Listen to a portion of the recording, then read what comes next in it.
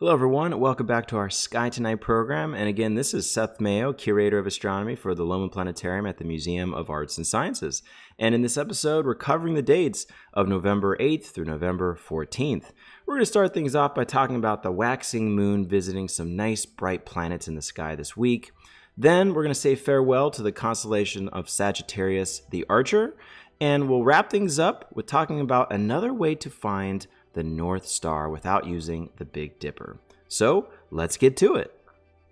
If you have a chance this week to look in the southwestern part of the sky after sunset, one thing, of course, you'll notice is that it's getting darker earlier because for a lot of us, we went through the end of daylight saving time. So keep that in mind when looking at the sky for this week. You'll see a difference for sure. But right at the beginning of the week, right after daylight saving time ends here on Monday evening, the 8th, we can find Venus still really, really bright above the southwestern horizon, Venus being the brightest planet that we can see from Earth. And what's nice is the thin waxing crescent moon is nearby, and there you can see it right there. Now, the night before, Sunday night, we actually saw it really close to Venus. We just back up a step here just to kind of go over it again. And there's the waxing crescent, a little thinner of a crescent and really close to Venus there. But for Monday night, the beginning of this week, you'll see it just above and to the left of the planet. So that's always great. And when the moon is crescent, I always mention you might catch a little bit of Earth shine with the moon, the Earth's reflected light reflecting back onto the night side of the moon where you can see some of that dark portion there lit up just a little bit. And it usually happens during some of the thinner crescent phases of the moon. So you'll find those two kind of close at the beginning of the week. But as we continue on here, we'll find the moon continue waxing towards the east. And there you'll find it getting a little larger. And then as we get close to first quarter moon, when it's half full on the 10th and kind of the 11th, we'll find then the moon will get near these two gas planets that we still can see very nicely in the south and southwest. You'll find Saturn right here, the beautiful ring planet in our solar system there, which is great. And so that's on the 10th. And then we'll move on to the 11th here, and there you'll find also pretty close to a half-lit moon, technically waxing gibbous because it's a little more than half by the evening of the 11th, but there you'll find it near the planet Jupiter, the largest planet in our solar system, so that's quite nice as well. And then from then on, as we get into the weekend here, we get into 12th, 13th, and then 14th, you'll see the moon getting more into its gibbous phases and more towards the eastern part of the sky. So it's nice to have the moon near these planets, just reminding you of some of the solar system objects that you can enjoy right now. If we focus back on where Venus is located in the southwest, around the maybe 6:30 p.m. time frame local time here, we can actually find the leftover summer constellation of Sagittarius the Archer, which we find right here. There's Venus being really really bright, so that can really help you to find this area finding Venus and then you can see the stars here. So we talked about this over the summertime. It's one of the best constellations you find at that time of year and for partially the fall as well. Normally when we talk about Sagittarius, we kind of couple that with the constellation of Scorpius, but Scorpius is almost fully set in the sky. You can see a little bit of Scorpius's tail down here, but it's pretty hard to see. You probably won't see much of it. There's a little bit of the tail down there if I turn off the ground here again. You can see some of it there. But uh, at least aside from talking about Scorpius here, there is Sagittarius, the stars that make it up. And normally when we find this group of stars, which are fairly bright that you can find in this area, we talk about the asterism called the teapot. That's probably the easiest part to find. So if we turn off the constellation lines and turn on just the asterism, there it is. So if you look at it carefully, it does kind of look like a teapot being poured, right? Here is the handle, there is the lid, and there is the spout. Almost makes me want to sing the song, right? But anyway, you can find that teapot there. And what's kind of fun, if you go to a dark enough spot, it almost seems like it's pouring out the stream of the Milky Way. If you go somewhere nice and dark, you may find the Milky Way still really nicely placed in our sky. It's fun to imagine in a dark location that there's some celestial being pouring the teapot and the steam of the tea coming out would represent the Milky Way. So that's kind of fun to imagine there. But anyway, the teapot is a famous asterism that can help you to find the rest of the constellation of Sagittarius. And believe it or not, This is a half man, half horse, otherwise known as a centaur. This one's kind of tough to figure out, right? From the stars. The teapot really makes more sense, but when you really try to bend your mind into thinking that it's a centaur, it takes a little more imagination. So the teapot portion here is kind of the torso and head and then part of the bow because he's an archer. And then the rest of the stars that kind of sort of end up over on this side, a little bit south of the teapot, makes up the horse-like body of this centaur. So this is a very old constellation, maybe one of the oldest in our sky. So it may date back to ancient Babylonian and Assyrian timeframes, thousands of years ago. And there's not a lot of information about the mythology behind the constellation, and it might be because of how old it is. And there's two competing characters that you find associated with Sagittarius. One is someone named Chiron, who was a famous centaur and the son of Kronos, who's also known as Saturn, he's the father of Jupiter, and a sea nymph named Philyra. So Chiron was known to be very good at archery and hunting, and sometimes known as the greatest centaur that ever lived from Greek mythology. So some folks connect Chiron to Sagittarius, but there's actually another centaur in the sky named Centaurus, who also gets the name of Chiron as well. So that's kind of debated. The other character from ancient mythology was described by the famous 2nd and 1st century BC philosopher, poet, and astronomer named Eratosthenes, and he associated Sagittarius with a satyr named Crotus, who was the son of Pan. And Crotus was known as the father of archery and highly regarded as well. So those two names, Crotus or Chiron, sometimes are associated with Sagittarius. It's debated upon, but this again is a very, very old constellation. It's been known for quite some time.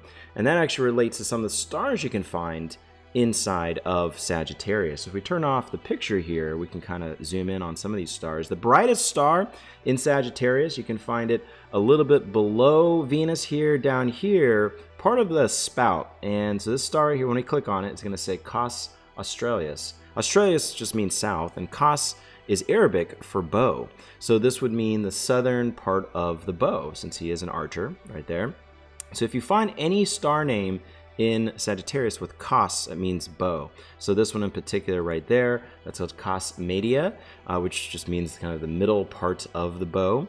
And then we go up to the top here, this is Kaus Borealis, which would be the northern end of the bow. Borealis means north there. Then the second brightest star in Sagittarius is quite interesting, and that's the star here where you'd find, at least inside the teapot, which would be the handle, this star you notice the top left says Nunki.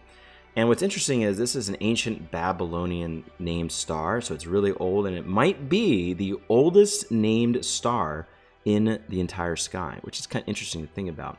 At least that's what's thought. That might not be the case, but it is a very old named star, possibly named after a city near the Euphrates from Babylonian times. And so that star has a lot of history. And that's one thing I love about sometimes these star names, constellation names, is they can go way back and they can tie us back to people long ago. And so I do love how we're seeing these stars, mostly how people saw them thousands of years ago. And it does connect us with people from other times. So those stars kind of remind you of that. But anyway, we can say farewell to Sagittarius. It's getting really, really low in the sky. You find Venus there, and we don't have much more time to see it, but you still have a chance after sunset in the kind of 6 p.m., maybe even a little into the 7 p.m. time frame as it starts to sink lower and lower and as we move farther into the fall.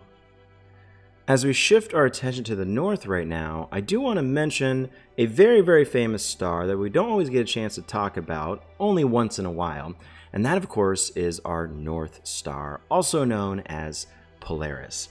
Really famous star, many folks think it's one of the brightest stars in the sky, but in actuality, Polaris, which we can find right there, is about ranked 50th in brightness out of all the stars you can see with your naked eyes. So it really doesn't stand out as much as other stars that you find, but it's still famous because once you find it, you're looking north. Now, normally when I talk about the North Star, I mention finding it with something that's really famous, and that is the Big Dipper.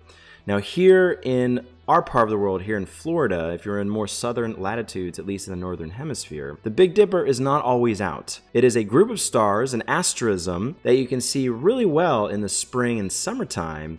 But then once the fall hits, it dips below the northwestern horizon. You can actually see a little bit of it right now here in Stellarium in our location. Remember, this is latitude dependent, right? So if you look down here in the northwest, you'll see just a little bit of the handle of the Big Dipper after the sun sets right now. And if I turn off the ground again here and turn off the atmosphere, there you see the Big Dipper's handle and the bowl, the seven bright stars of the asterism, when actually this is a constellation called Ursa Major, the Great Bear, very well known in that part of the sky. And the trick that I always talk about, and it's really easy to remember, is you find the Big Dipper, the end of the bowl, those two stars right there can point you straight to, for the most part, to Polaris, the North Star.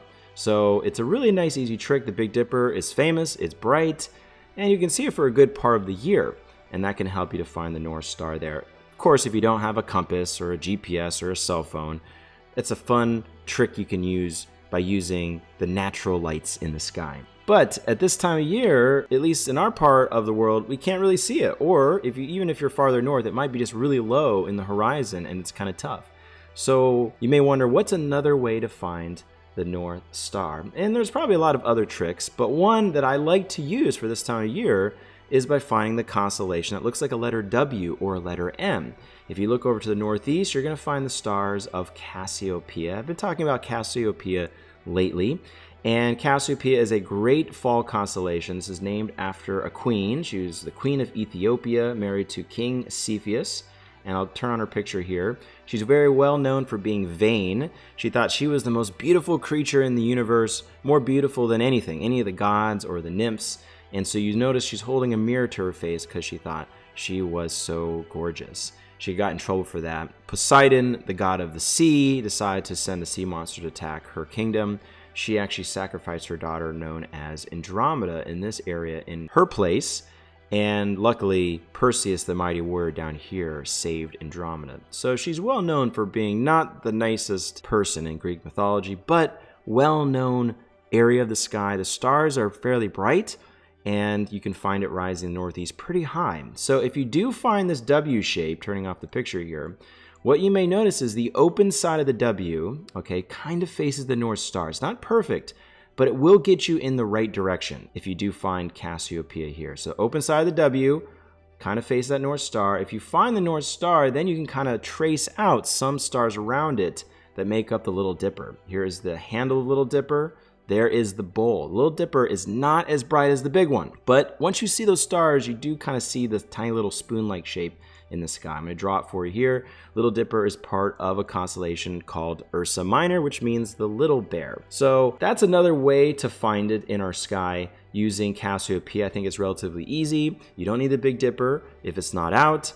And it's always nice to be able to locate that star because you can find every other direction just by finding that particular point. And just as a reminder, the reason why it's our North Star is because our North Pole points right to this star in space for the most part. If I turn on uh, what's called the equatorial grid. This turns on a huge celestial grid in the sky, and you'll find that the north celestial point is right there. It's not actually perfectly on the North Star, it's off by just a little bit, but it's really close. So the North Star is still decent enough to pinpoint the north there, but it's off by just a little bit. But one thing you'll notice if I turn this off here is if we speed up time and go a little bit farther into the evening here, notice the North Star does not move. We'll go a little faster than that here. And you find it just stationary there, and the stars going around in a counterclockwise direction. And again, that's all because of North Pole of our planet pointing to that star. And as Earth rotates, it makes it look like all the stars are going around it. So if you stay in the same location, the North Star doesn't move unless you move north and south on Earth. So here in Florida and Daytona Beach specifically, where our museum sits, the North Star sits about 30 degrees north of the horizon. So that tells you our latitude is about 29 to 30 degrees north latitude. So that's kind of a neat trick with that star as well. So if you're having trouble finding North Star, which is not very bright, and you want to find a Little Dipper as well, find Cassiopeia, the open side of the W shape of this woman sitting on her throne, facing, or the open side facing the North Star. That can help you to find a great navigational aid in the sky. Well, that's it for another edition of our Sky Tonight program. Thank you very much for tuning in. And if you're in the area in Daytona Beach, please stop by the Museum of Arts and Sciences and definitely the Lohman Planetarium. We're running shows every single day, so we'd love to have you here for a show. Please check out our schedule online if you want any more information about our programs. So we hope to see you back here again next week for another episode. And as always, happy stargazing.